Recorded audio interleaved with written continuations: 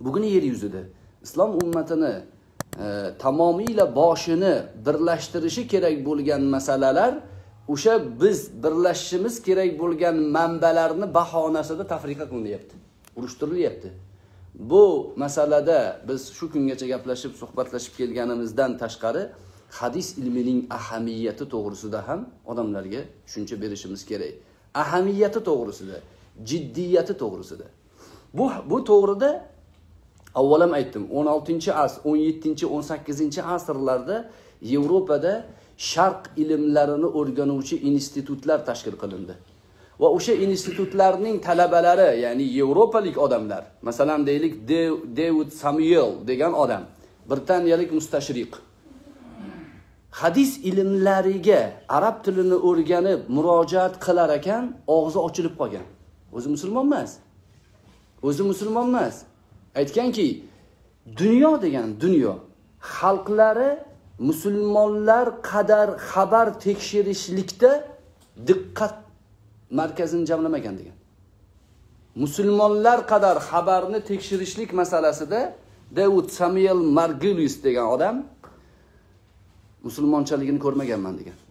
Ilmni ichiga kirib borar ekan musulmonmas o'zi. Biz o'zimizni hadis ilmidagi iftixorimiz bilan faxrlanib taassub qilmayapmiz.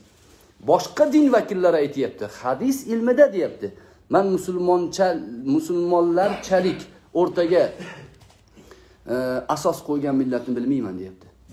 Ya'ni hadis ilmining jiddiyatini tan olyapti. Germaniyalik olim nakler degan odam. Bu bu ham mustashriq. U e, ya'ni naqlul axbor degan bizni islom kitoblarimizda xabarlarni naql qilishlik bobi bor kitoblar bor naqlul axbor to'g'risida.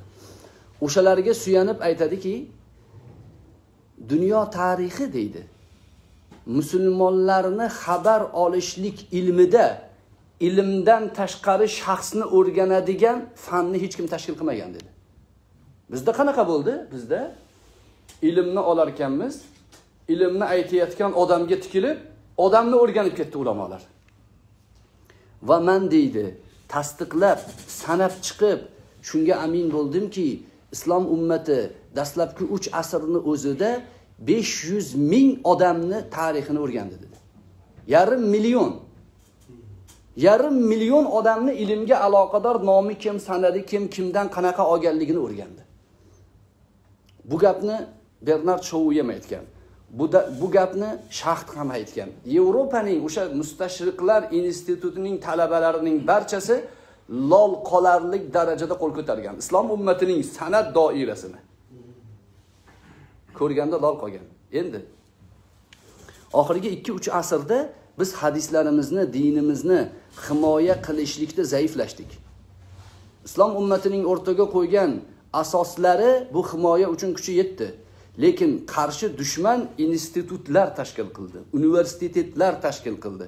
Bu joyga million milliardlab pul tikdi. Sabab islom ummatini usulidan mahrum qilish islom ummatining o'zi suyangan manbalardan shu ummatni shubhaga solish. Va bunga hamin qadar erishdi.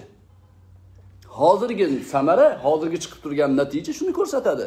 Bugun chiqib bu hadis zaif bunisi bo'lmas ekan man sahih hadisga ergashaman qur'on sunnatdan shundoq olaveraman degan odamlar to'satdan potirab chiqqani yo'q bularning orqasida qilingan ishlovning natijasida chiqyapti fitna yomg'irining orqasidan chiqayotgan qo'ziqorinlar bular fitna yomg'iri yog'maganida edi bular chiqmas edi